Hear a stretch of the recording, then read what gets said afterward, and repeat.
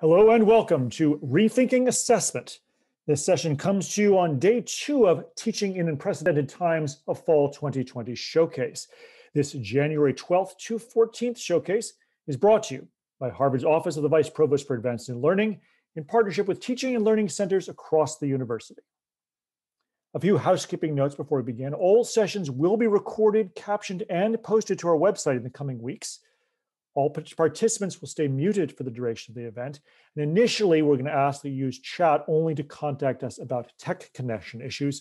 You will be able to ask questions, and to do so, use the Q&A button at the bottom of the Zoom window. You can submit your questions there, and you can view and upvote questions from other participants.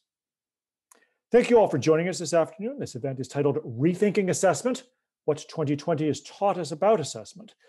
The rapid transition to online teaching has led to a number of innovations in teaching, but far fewer in assessment. Yet assessment is a central part of instruction. In this panel discussion, we'll showcase novel approaches to assessment from across the university, and then during the Q&A, you will have the opportunity to rethink assessment yourself and help enhance learning in your courses. Our moderator is Eric Mazur, the Balkanski Professor of Physics and Applied Physics and Director of the SEAS Learning Incubator at the John A. Paulson School of Engineering and Applied Sciences. He's joined by Molly Brady, an assistant professor of law at Harvard Law School, where she teaches property, land use, and local government law. Molly received the 2020 HLS Student Government Teaching Award. Pinar Dogan is le- lecturer in public policy at Harvard Kennedy School of Government. She is an economist and is the course head for the required microeconomics course in the MPP program. Pinar also teaches an elective on game theory and strategic decisions. And we're joined by Andrew Ho, the Charles William Eliot Professor of Education at the Harvard Graduate School of Education. He's a psychometrician who works to improve the design, analysis, and use of educational tests. Without further ado, let's begin rethinking assessments. Eric, the virtual floor is yours. Thank you so much, uh, uh, Jonathan. And uh, let me actually start by pointing out the Q and A button at the at the bottom. I, I, I suggest that everybody clicks on the Q and A button right now to have that open. This uh, permits people to put in questions and upvote each other's questions so that I can make sure that I ask our, our distinguished panelists the, the most burning uh, questions. So thanks again for the introduction uh, Jonathan. It's really a pleasure to talk about assessment, an issue that I've only started to think about way too late, uh, almost like a like an afterthought. I remember that initially when I started teaching at Harvard, which is now almost four decades ago, my whole focus and energy was how do I teach? And it's only much later that I realized that assessment in the eyes of the students is the tail that wags the dog. And I spent a good part of my uh, my career at Harvard improving teaching in the classroom, making it more interactive, making sure that students were actually learning, that it was not just teaching that was going on. Uh, you know, that gave rise to interactive large lectures. And then I think about 10 years or so ago, I realized I can do all I want change my my approach to teaching what matters to the students is really assessment. And as long as i don't change assessment i'm not going to be able to affect the way uh, they learn. In fact i gave a talk uh, a number of years ago here at harvard called assessment the silent killer of learning. I won't won't won't say much about that but it was meant to be provocative that often it's the assessment that uh, either stimulates or does not stimulate the students to learn. And of course, the whole problem about assessment has become even bigger this year as we moved online. And I want to just, just present one little idea that has been an absolute game changer for me uh, this year as we went online. It was clear that it would be much harder to do assessment online than it is in person. And over the summer, as I, I started thinking about my uh, course this fall, I came across a number of articles on something called specifications grading. And uh, specification grading essentially is a pointless system. You, rather than taking the different parts of a course, the different assessment, whether they're assignments, problem sets, tutorials, whatever, midterm exams, final exam, papers, uh, presentations, you name it, rather than giving a grade for each of those and then sort of averaging them at the end to come to a grade, you divide the course into units. My course has an unbelievable 60, that is six zero units, each of which is completely pass fail. So it's either pass or fail.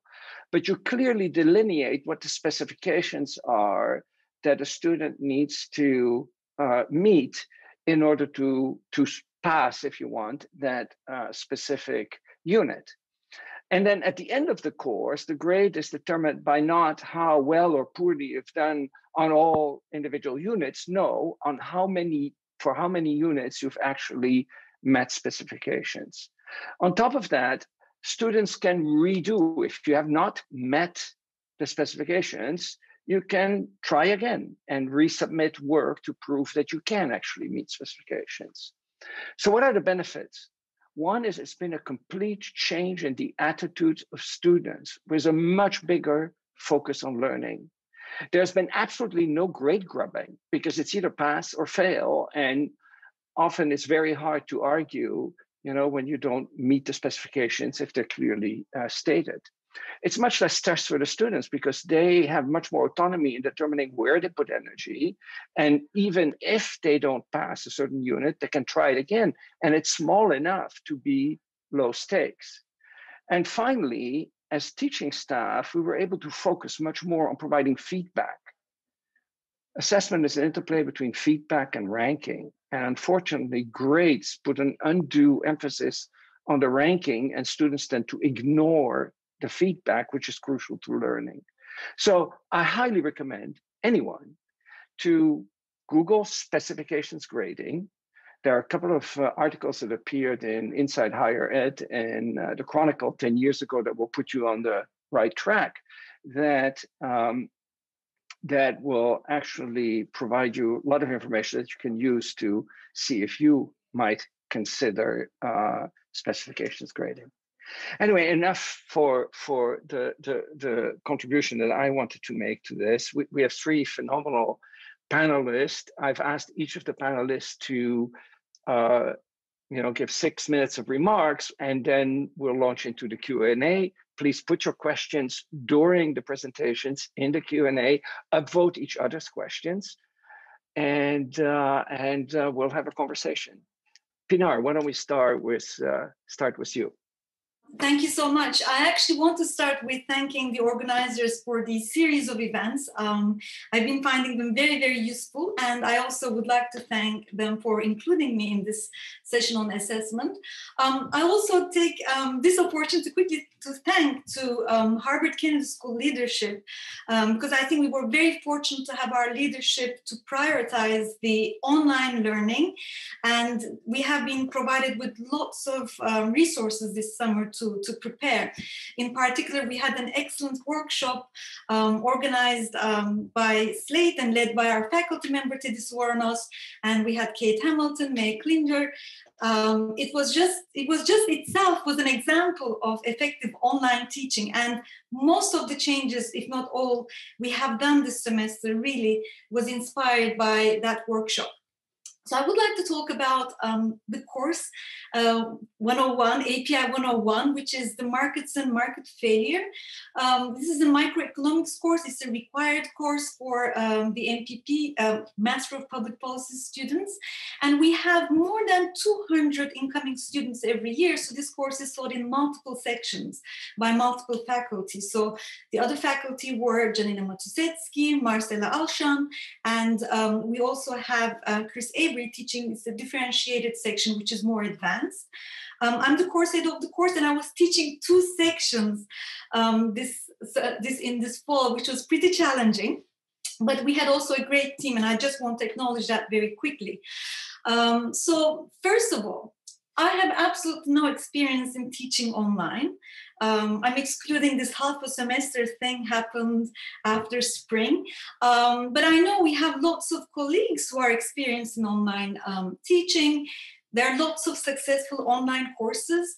And um, so for me, it wasn't really about transforming the course for, uh, to sort of make it, you know, to teach it effectively online. So that wasn't real question for me. For me, the question was um, how to transform a course to teach it online, whereby we had to teach online because of a pandemic because that makes a big difference. So when we talk about, you know, we're navigating through uncharted territories, it almost sounds poetic, but it's really the pandemic, and you know, people are dying, people lost their jobs, and not all of our students feel financially secure. Uh, they don't feel safe. So the question is more so for me was how to teach during a pandemic. So we've made lots of changes in this course, um, and I won't talk about those changes, but most of these changes were really transforming the course from in-person teaching to online uh, teaching. But the piece on assessment, which is the topic of the panel today, really the guiding principle was to keep in mind, it's impossible to forget that we are in the midst of a pandemic. It's an uncertain period of time. People are stressed. So, how do we rethink the assessment um, strategy? Now, traditionally in this course, we used to have two big exams midterm and final exams. I think it's typical for most of the quantitative courses relatively easy to grade, practical, but less than ideal uh, during the pandemic. So instead, we adopted a, an assessment strategy whereby we assessed students' learning on a continuous basis with lots of differentiated um, requirements and, and these were all lower stake requirements so we had you know pre-class questions we had weekly um, post-class questions or problems. We had end of unit assessments, reflection questions that students had to answer during um, the live class sessions. And I think most importantly, the component which had the largest weight uh, on students' grade, and I know as Eric said, we shouldn't be focused on so much on grading, more so on feedback.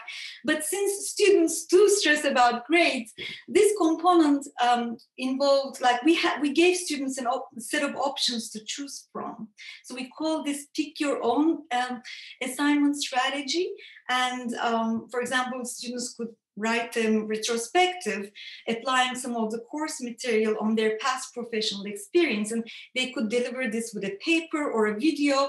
So they were given this option. I think it gave students some sense of agency during a time of uncertainty. So very quickly i wasn't so sure about that piece on pick your own assessment to be sure because i thought you know microeconomics we have to test them with an exam. Um, and i didn't know if we could learn about their learning through this type of um, assignment uh, but i'm very happy to see that um, it is possible. And actually i think we learn more than what we learn in typical exams. Very quickly because i have one more minute um, what were the advantages of this assessment strategy? Well, we also embedded some flexibility into the system given the number of um, requirements the students knew from the outset that we would drop the lowest grade uh, within each um, requirement. So that to relieve that pressure the huge advantage was reduced stress. Uh, that was very conducive to learning obviously. And um, we were giving constant feedback to students which was great for them, but we were also getting feedback. Oh, we didn't teach this really well, maybe we should revisit. So that sort of feedback was so helpful to adjust the course as we moved on. Um, and I just want to actually, because I received my course evaluations very recently, I want to read. Of course, I did cherry pick, but it was, you know, it was actually looks like an excellent year this year. I want to just quote from a student, uh, which really talks about this assessment strategy. So I appreciated learning from all of the various opportunities, pre-class exercises and class reflections, post-class problems, and end-of-unit assessments. I learned the material far better with this structure of periodic non-cumulative assessments. I truly learned the information rather than trying to cram everything into my brain for massive exams. I was able to receive timely feedback and grow in my approach, understanding early on in this course, rather than waiting for big tests or projects. It's absolutely incredible to end the course with a reflection on real world question in economics. So I did pick one quote, but there are many as such it was um, i think this was the best this was a good idea. We didn't know uh, ex ante i would recommend everyone to rethink the assessment strategy and start assessing students much early on rather than, rather than waiting for the midterm or, or whatever the typical time for these assessments happen. Um, and one last thing, minus one second, if you are going to ever um, adopt a similar strategy, we learned that two things are crucial. One is communicating the idea of the strategy, why we're doing this, which is not similar to um, some other courses. So explaining that um, it's, it's crucial. And then second is to establish a routine. There are many different requirements. You don't want to overwhelm students. These have to happen with a certain routine, and students need to have a great Canvas page as we do, which is designed by Ashley Davis, to have the have access to um, required pieces very easily. Um, I think that this is all for now. Thank you very much. Uh, Pinar, I, I just have a, actually a couple of quick follow-up questions I, I, I want to ask now rather than waiting until uh, later. Um, one is, you know, in going from you know traditional system with you know one or two midterms and an exam to this continuing assessment, have you found that it's a it's a much more it's it's a bigger workload for the teaching staff and if so is it sustainable? Okay so i sort of wanted to avoid that part. It was a lot of work. I, I i i think we were lucky that we had a great team. We had resources to help us um, with development of these different pieces. Um, i think i think it's it's a lot of work. It is sustainable. It is possible. One needs to have a reliable, large uh, teaching team because you know this feedback has to be given to students on a constant basis, and all these pieces have to be developed and just not randomly. They have to complement each other in certain ways. So, in short, it's much more work.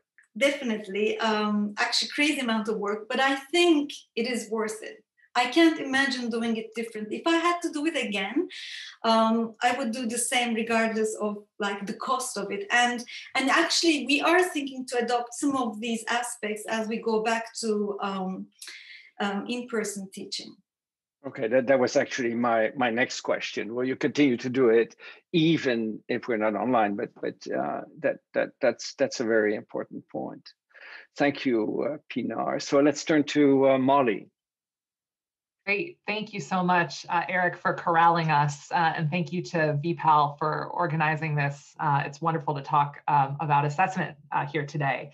Um, and I also should uh, say thank you and uh, give a shout out to the law school where I teach because uh, Dean John Manning and our Deputy Dean Glenn Cohen have worked really hard on getting the law school up to speed. In fact, at this very moment, I am missing a catch up uh, with survey data from students and faculty about what worked and what we can improve on uh, that I look forward to hearing, uh, hearing from my colleagues about very shortly. Um, in any event, I wanted to talk uh, or uh, talk about a couple challenges that we face specifically at the law school, and then how I responded through a assessment strategy. And I want to mention two specific things. So let me start with the challenges. So uh, the law school culture is a challenge. So uh, we are a school that always has had one cumulative final, not even any midterms along the way. Uh, and that has, even prior to the pandemic, led to effects on students. First, uh, they're upset that they have limited forms of feedback prior to uh, their grade. And also it's, I think, reduced our capacity as faculty members to be able to speak to our students' abilities because we're sort of stuck reviewing a final often read in a three hour span in order to uh, get a sense of what they can do and what they're interested in. And so I've always uh, not enjoyed that. Um, the second thing that I think of as a challenge, uh, which I know is common to most of the schools, is that we are 100% remote at the law school and our students are geographically dispersed across the globe. Um, and so that was another uh, challenge, not being able to sort of have a commonality of thinking about law uh, in Massachusetts or in the United States even uh, from one spot. I should also mention one limitation here, because uh, I see there have been uh, some questions about it already. Um, I cannot speak to uh, any sort of, uh, uh, how should I say, innovation in grading, because at the law school, we are on a really strict and mandatory grading curve. So we just have less flexibility as a school um, in that regard. So to respond to these two challenges, kind of the challenge of the cumulative final and then also being 100% remote, uh, there were two things that uh, I changed about assessment strategy or started doing more of. Uh, and one was taking advantage of geographic distribution of our students in developing formative assessments. So the classes that I teach are property, land use, and local government. There are uh, about 80 people at the law school, all Juris Doctor students uh, for the most part. And so I've developed a bunch of different formative assessments where they can take what they're learning in the classroom and apply it to something wherever they are. So a really simple one uh, that I've used is find something in the local newspaper wherever you are that relates to what we're talking about in class and write a two-page reflection, either testing the concepts uh, or, or thinking about how the theories we are learning uh, apply in that context. And it really helps me get to know the students. They get some practice writing. And if I notice things are going off the rails or sideways, I can kind of course correct or say this concept's a little different or one of my TFs can do that. Um, I've also done a few other things. Uh, so I've had them look up the zoning map for the place where they are. Uh, so this being the city zoning in order to understand how land use law works. And they get a picture of kind of how law has shaped the community that they're in. I've had them pull the deed uh, or go do a land record search for uh, the place where they are currently living and find out what's the name of the person that owns this building. Again, using public records you can get on the internet, but letting them kind of apply what we're learning in class to where they are currently. Um, I also have uh, had them in local government think about the local government structure of either the place where they are or the place where they are from. Uh, I've had them as well uh, either call in on Zoom to local government meetings, which are actually easier to get to right now than uh, perhaps ever before, or else watch the footage uh, afterward and think about what the concepts that we're learning in class have to do, how they appear or don't appear um, in these real life settings in places where, um, where they are. I will also say I've uh, long used discussion threads, pre-class written assignments um, in an effort to sort of stimulate student discussion and get them to engage with one another. I have found that to be obviously great uh, online, but also it's given me, generated for me, some hypotheticals uh, and other things that we can talk about in class that I think make them feel more connected. So we were talking about nuisance law in property, and a bunch of my California students brought up something called the Flintstone House, which was a woman who put a bunch of giant dinosaurs in her front lawn. Uh, and so as a class, I was totally unaware of this, and I brought it into the class, and then those students felt like, oh, even though we're far away, we're seen, um, and we can talk about something that's kind of happening in our backyards. So I think thinking creatively about ways to bring in where students are or take advantage of geographic distribution through formative assessments, that's been a really successful strategy. The other thing I wanted to mention uh, just briefly is uh, how I have made sort of qualitative uses of polling software, because I think often when we think of polling, we think of sort of clear answers, you know, being able to choose A or D, and then that gives feedback to the instructor uh, that they can tell what the class is understanding uh, or not. In law, there are often right answers, but a lot of the time you can argue a point. Um, and so we've had to think kind of creatively about how to use polling. So just two uh, uses that I have found successful that I, I, consider forms of assessment, even though we're not grading the students on their uh, poll responses. One is we of course teach through the case method. So we teach them about, you know, different cases and the majority opinions and the dissents. Um, uh, we have used polling, I think, really successfully at the law school to get a picture both before and after our discussion about what the students think. And that can be helpful too in generating uh, class discussion and questions because a student who might think, oh, my opinion is the minority, sees that actually 50% of their classmates have the same opinion or think this was rightly decided or wrongly decided. And so that I think has been really successful. And we usually do it pre and post so we can see how people move, if at all, which is really fun. Uh, the other type of polling software, I use Poll Everywhere, but the other uh, feature, I guess, of uh, polling software that I've used is a word cloud uh, while we've been remote. So we, have often in class done uh, close readings of passages and generated a word cloud of what we think are the most important things in a given statute or case. And then we can kind of pick out what uh, from there is biggest or really small, and I can kind of get a sense of what they're perceiving uh, as uh, important. Likewise, the reasons for a particular rule. So if everybody sort of sees, you know, this reason for a rule as being a really good one, maybe efficiency or fairness comes comes up really big uh, and we can kind of get into what the class is uh, thinking. So I just wanted to mention those two things as sort of more qualitative uh, uses of polling uh, software. I think I'll stop there. Thank you, thank you, Molly. And I, I love that you managed to uh, bring in the students' environment in, in into your course and i and i think many of us are discovering that having sort of a globally distributed student body has advantages that uh, that are just phenomenal um, I, I, I have fairs in my my class at the end of each project and i used to bring in audience a local audience of judges uh, during these fairs and then we went online in the spring last year, I was still in this mindset. Oh, I got to get judges from MIT, and and and then it, it, it took about a month for me to realize it doesn't matter where they're geographically located. I can have them from everywhere.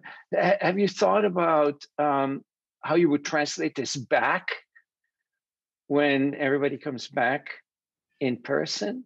Yeah, so some of the stuff that's been sort of geographically about where they currently are, I think could easily be, you know, for us teaching professional students, where did you go to undergrad, or where did you grow up, or where's where's the last place you lived, uh, which I think again will just have will make it real and also bring in a diversity um, of experiences. So so I think that, and I will say also, you know, with respect to sort of judges or guests, I hope that we'll somehow be able to continue to have the fabulous guests uh, and speakers, and especially surprises. I think the students have really enjoyed that when somebody surprisingly jumps, you know, into class. Of course, not a surprise to me, but uh, but someone that I'm invited that they're not expecting to talk about a concept. You know, the lawyer that argued a case or something like that. So I think the guest feature from everywhere is one of the best things.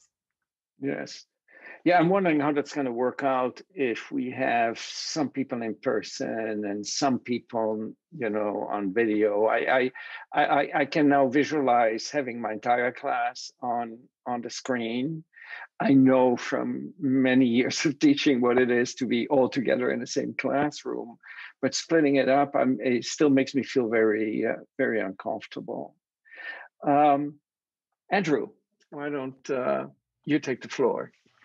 Sure, and and um, as the others have said, uh, th- thank you so much for for putting this on. Um, I I am a psychometrician and I do work with assessment, and I could just couldn't agree more that it's sort of this hidden cornerstone uh, of of teaching and learning that we overlook all too often. I, I often say, you know, to folks, if if I want to know what it is that you teach, I don't actually want to see your syllabus. I want to see your final.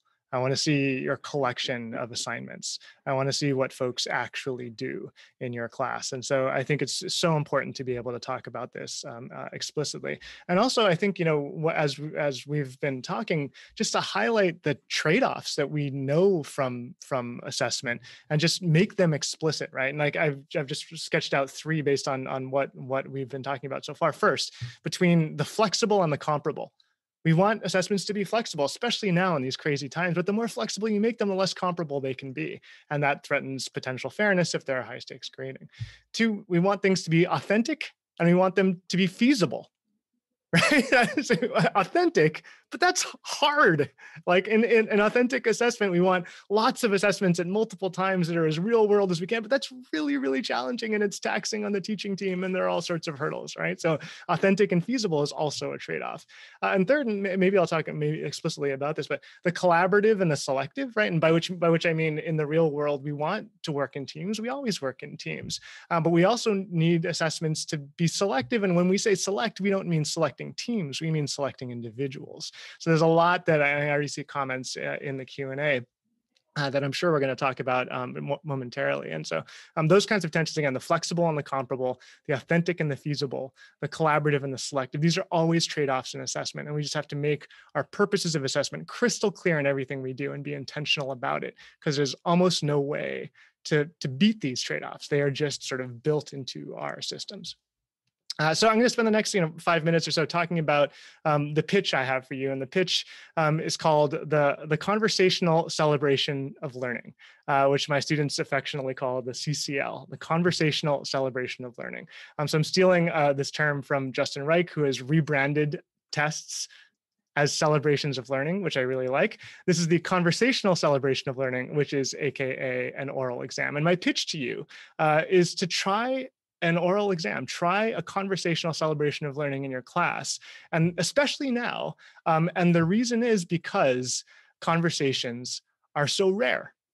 conversations about content are so rare and hard to do these days. And if you put on a conversational celebration of learning, you will find that your students will have conversations with each other about content, which I think is authentic, collaborative, and an explicit learning objective of my course and many of your courses.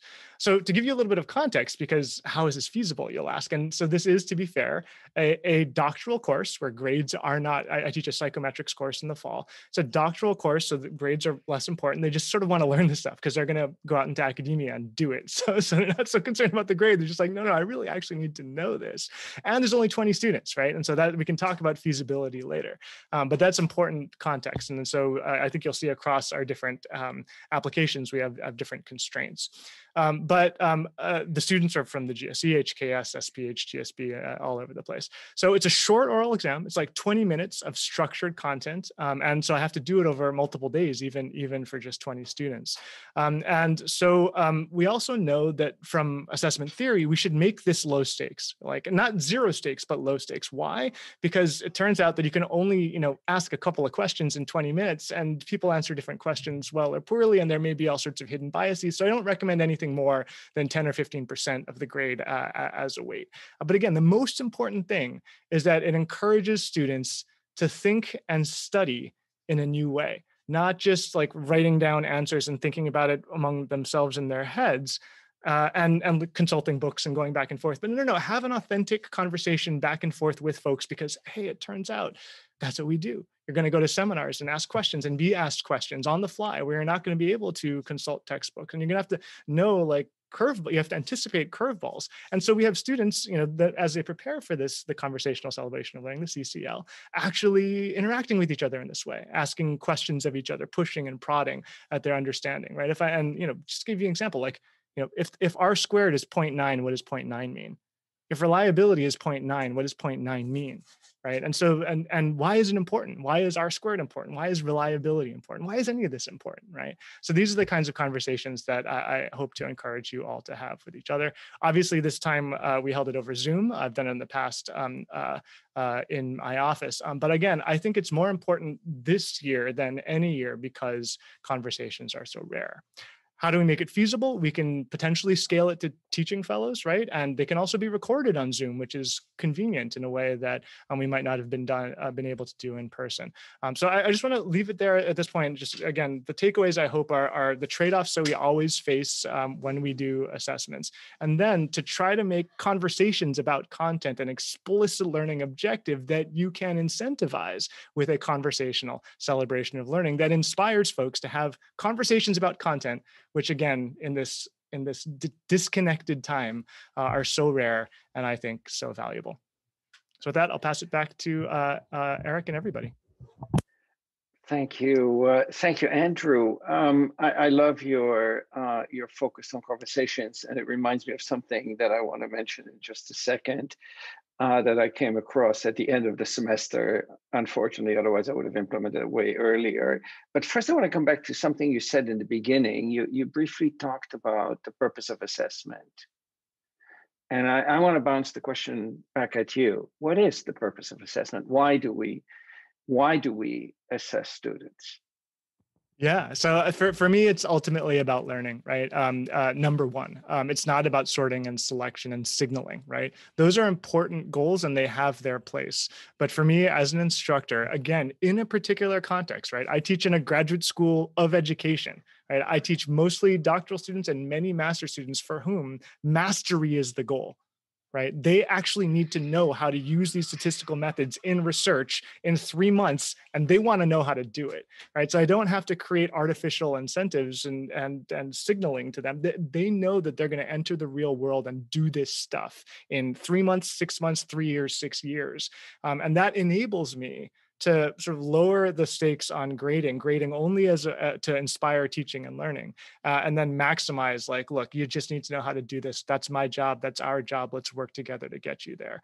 I think different schools. I'd love to hear Molly talk about this. I'd love to hear you talk about this, Pinar, and, and the people in the audience. You are some of you are faced with explicit directives from on high because you are a sorting and selection machine the way that I and my students in GSE are not. So we don't always have control over that. Um, but I'm with the fortune of that flexibility, I can put a stake in the ground and say my goal uh, is to get you to learn, and assessments are directed um, it, to toward that purpose uh, in a single-minded fashion. So let me let me ask. Yeah, go ahead, Pinar. Sorry, um, I, I, really love this idea about you know the com- cele- conversational celebration, and I think you know I, I, don't think it's feasible at our scale, but I, I want to learn a little bit about the feedback process in this kind of conversation. So how does it really happen? Do you instantly give them feedback, or do you take notes and then um, how, how does it work exactly? Yeah, it's a it's a great question. So um, I so it's 20 minutes, but I block 30 minutes. And what I do is I, I actually uh, and this this time it was very easy for me to have a teaching fellow sit in, um, and my teaching fellow took notes, and I took notes on, on the conversation. So 20 minutes um, uh, in a in Zoom with the waiting room function enabled, so people didn't barge in, um, and we'd go 20 minutes, um, and then the next 10 minutes we just I just frantically type. There was like boilerplate because it was structured, right? I wasn't just asking random things. Um, it was structured. It was drawn from previous assignments, but then with these little offshoots and tangents where I thought it was appropriate, and I could scaffold on the fly, which is really important, right? Um, but uh, but then so the next ten minutes, I would just write them a quick one paragraph email. Um, uh, that was that was that was about the feedback, what they did well, plus deltas, right? What they did well, what they could improve, um, grade on this you know standard grading scale, um, and send. So immediate or close to immediate, ten minutes. So, so uh, in um, in December, I think it was a little bit too late for me to implement in the course, although I started implementing it um, over the break. I read in, um, of all places, Wired magazine, a very innovative idea of essentially having the students uh, prepare short videos and send them in. So it's a conver- It's not really a conversation in the sense of going back and forth, but they orally explain and record themselves. Uh, I'll put the link to this article in uh, in in in the chat. I found it a very interesting idea. I've implemented it with a few students who needed to make up a couple of the units in order to satisfy meeting specifications on enough units to pass the course. And um, I've I was very impressed by the result because, as you said, Andrew, it's actually much easier to judge people uh, when when you hear them, you know, verbally explain their understanding than than if you do it by having them uh, them solve uh, solve problems. So I'll put that link in the. If I may add, actually, this is exactly one of the options we had on our pick your own assignment strategy, and 24 of our students did choose to convey their stories, their retrospectives in the form of a video, uh, which was very interesting and. Um, one one issue has to do with again this is andrew's earlier point about having um, okay there were lots of trade-offs he mentioned but the one on uh, flexibility and comparability i think it becomes a little bit more difficult when you have these different formats of you know some people are have great skills of video production and it's hard to not be impressed about that or great you know communication skills. So i think it becomes grading becomes much more difficult but it was a joy to watch how they applied these concepts and conveyed it in a video format. So before we get to curving and grades on the curve there are two questions one from lisa sievert and the other from uh, maria flanagan. But before we get to that i want to come back to um, our discussion of the purpose of assessment. And, you know, I think, yeah, of course you need to assess. And you mentioned the focus should be on the learning. And the assessment can actually be a learning opportunity, although the way it's usually used, it's not a learning uh, uh, opportunity. It is more a sorting and, and filtering type of uh, opportunity. But here's the, the, the maybe somewhat controversial question that I want to ask uh, to all of you um, Are grades necessary for learning? Right? I mean, you can assess people without attaching a numerical grade to it. I'll let Molly so, are grades necessary for learning? I certainly don't think they're necessary for learning. Yes, although I do think that, um, yeah, as a, as a, as a school on a strict, maybe maybe one of the only ones on a strict uh, strict curve. I think uh, you know whether uh, it's also I think we're very normal within law schools. There's only one law school I'm aware of that has moved away from the curve out of the hundreds, um, which is kind of amazing. Which does suggest that there is a perhaps a different professional function. But as far as assessing learning, you know, I can say one thing, which is that um, many of the assessments that I give are credit, no credit.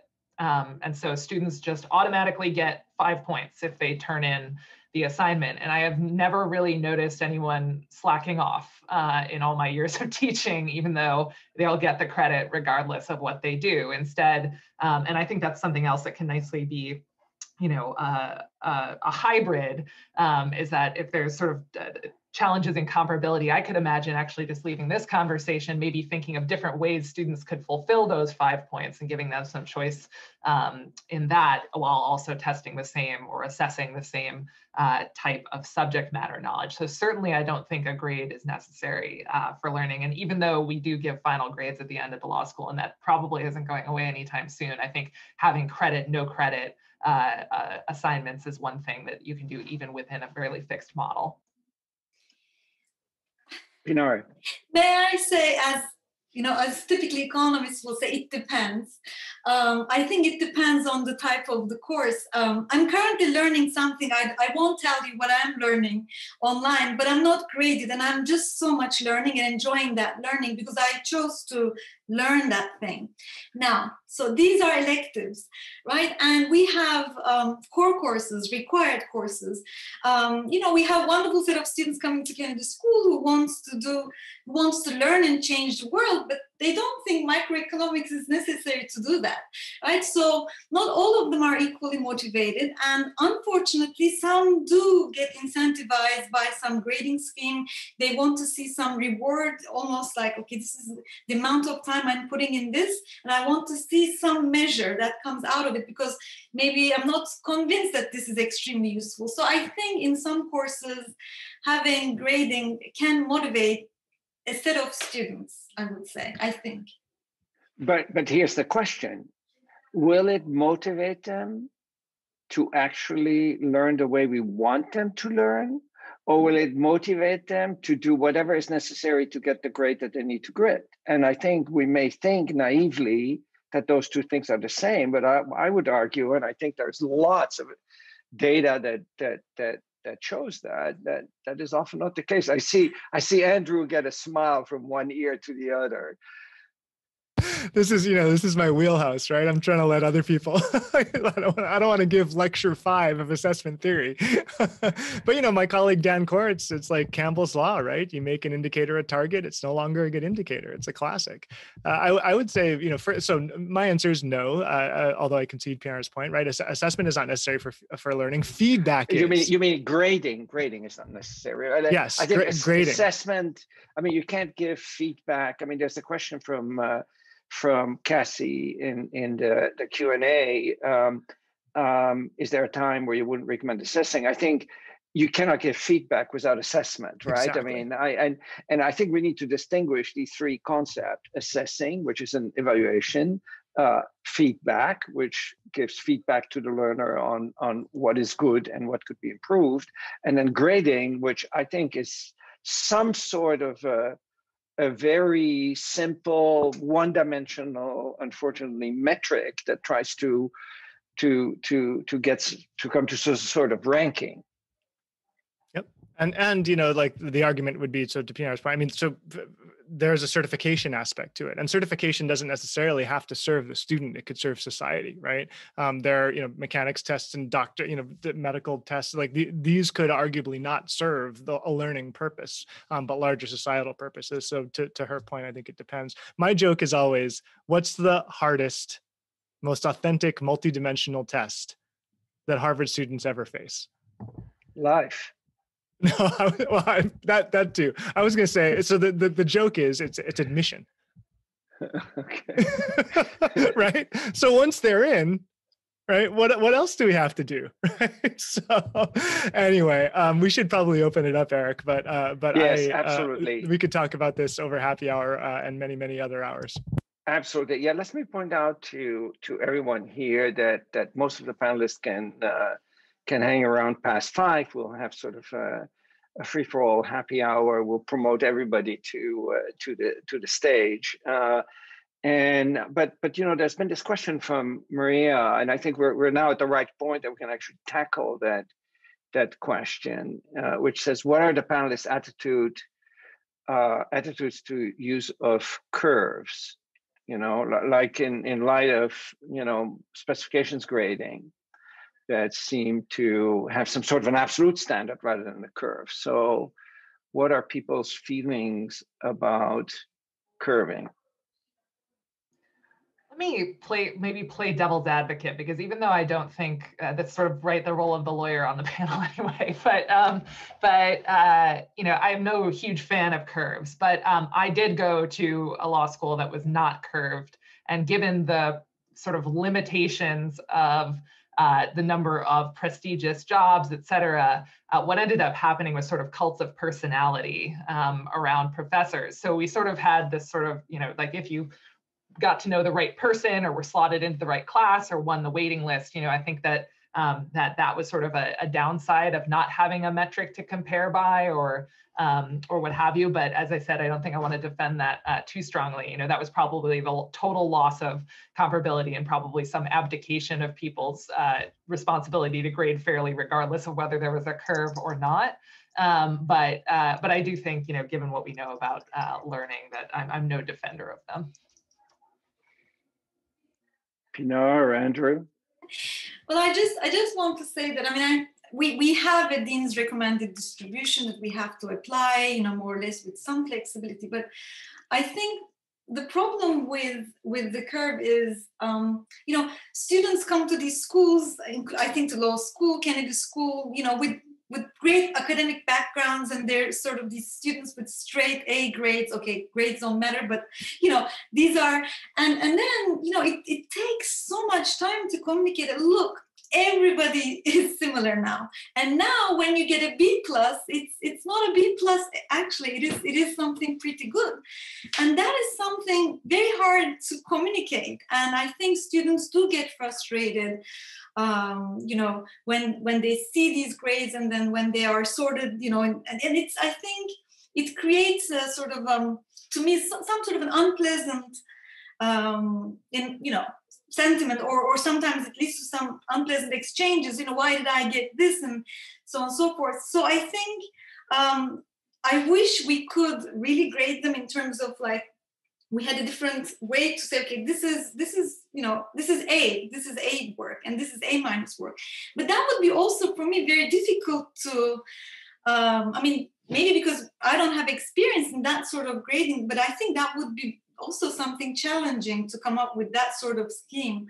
So yeah I, I don't basically i don't have an answer but i do see that it's a source of stress for students seeing these b's b pluses although they're not really bad grades so let me say one other quick thing that uh, just goes actually to what Andrew was saying earlier about the target, which is that even though um, uh, my flexibility as an individual faculty member is affected by an existing curve, um, I try to widen the target um, so I make it about we are learning these skills. This is broader than just the grade you get in this class. I will be an advocate uh, for you regardless of how you do if you work hard in this class and do your best.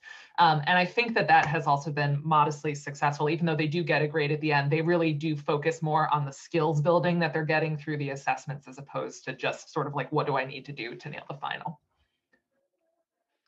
Yeah, and then and then on, on the subject of grades, uh, let's not forget. I mean, some of our most successful alums are dropouts, and and and people, you know, I think I think we need to realize that that grades, in the big scheme of things, are extremely meaningless, and and that most employers would never hire any of our graduates based on on a transcript they have a conversational uh, assessment of uh, of the people they want to uh, they want to uh, they want to hire and and and given that grades and curves provide stress and given that stress is not conducive to learning i i, I really think that we're doing learning a disservice. I'm still, you know, trying to find the balance between the right motivators and and and um, I think trying to find some sort of a shell, and, and I think the case study method does that in a certain sense, right? By by adding to most cases a component of, of, of empathy or social good to to sort of get students more intrinsically motivated. And, and I've tried to mimic that, even though I teach a physics course, try to mimic that by giving my the, the project in my course a component of empathy or social good.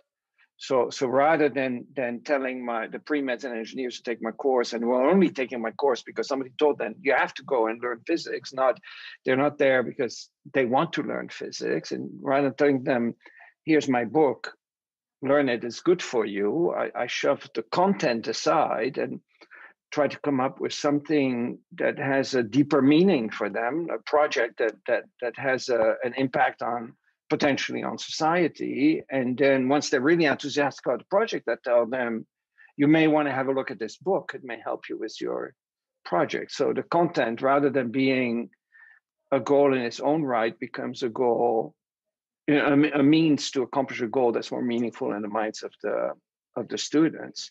And then to some degree, the grade destroys that because it replaces the intrinsic motivation with a with an extrinsic one.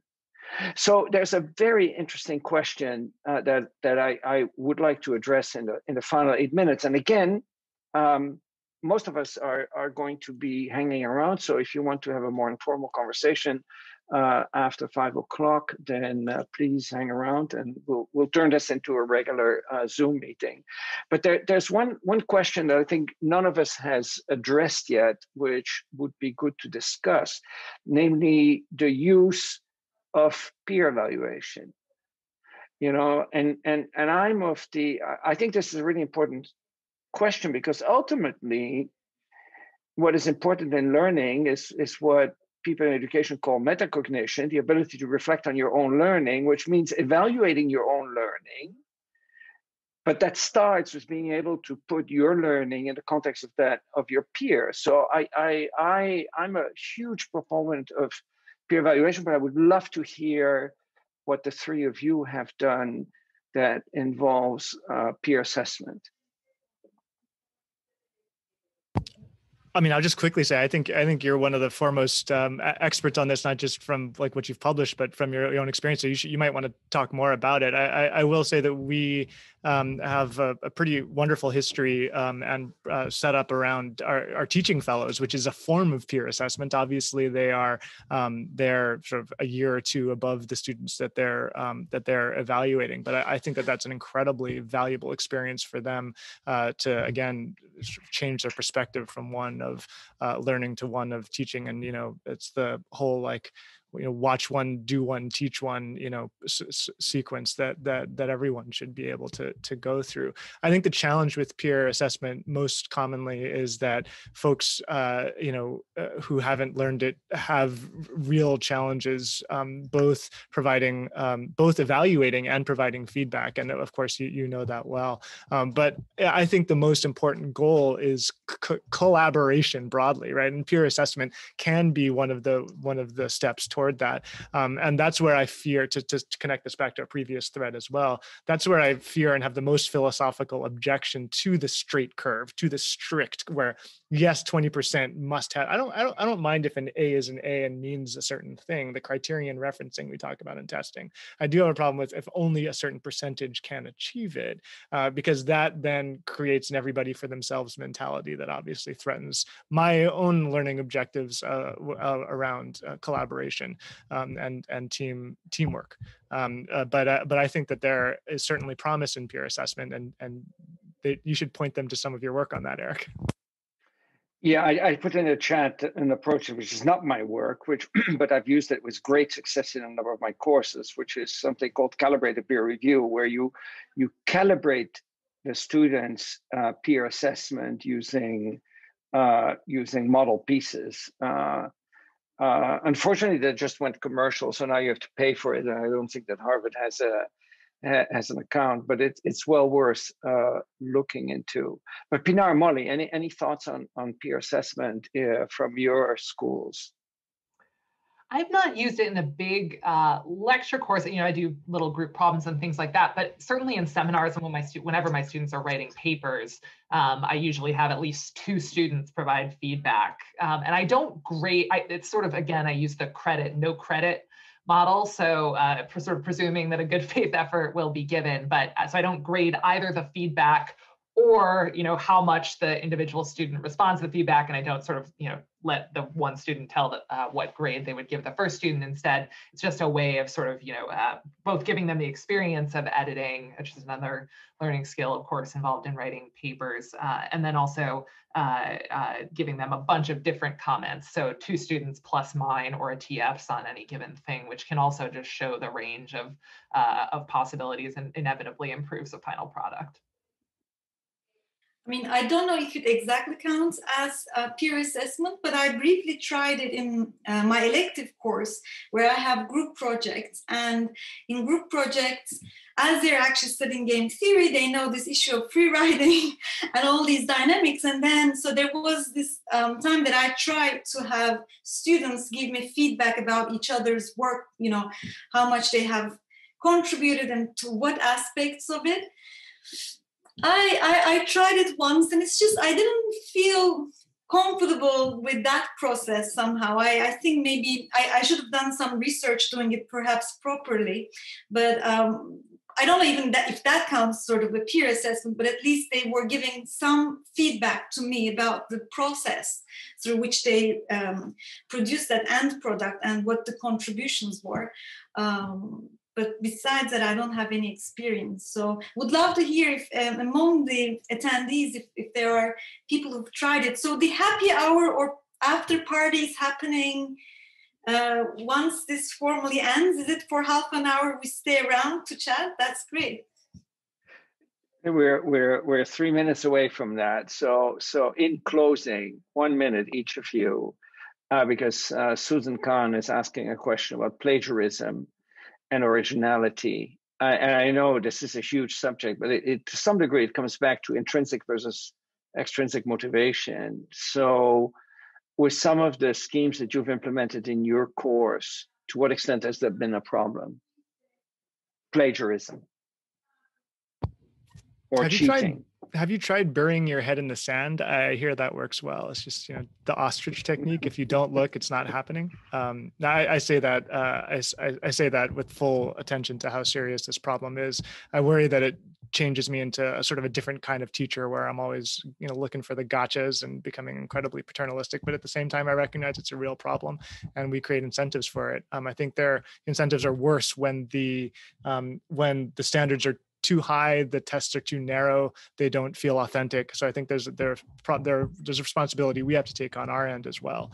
Uh, but it's a real problem, and there are numbers of solutions and businesses in place to try to prevent it. We can talk more in happy hour about it. Molly, Pinar, any thought, closing thoughts?